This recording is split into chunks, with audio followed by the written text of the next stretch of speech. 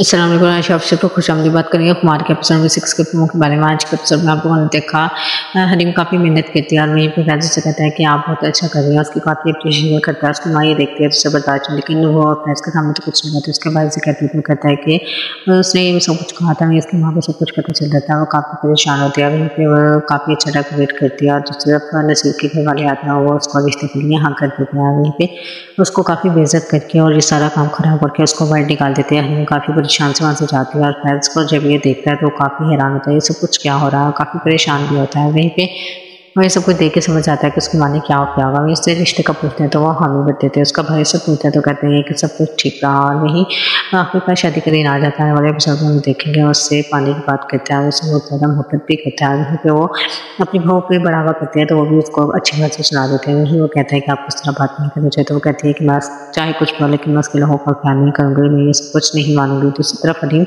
इस रिश्ते के लिए हाँ कर देती है। सिर्फ़ इसलिए उसकी माँ को पता चलता है कि वो हमारा उसका इलाज नहीं मुमकिन नहीं है, क्योंकि पैसे नहीं है